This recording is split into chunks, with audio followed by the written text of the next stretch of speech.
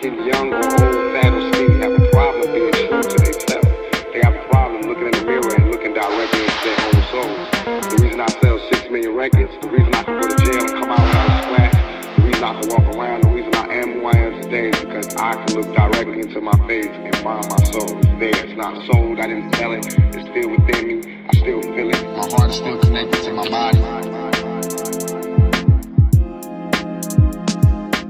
My heart is still my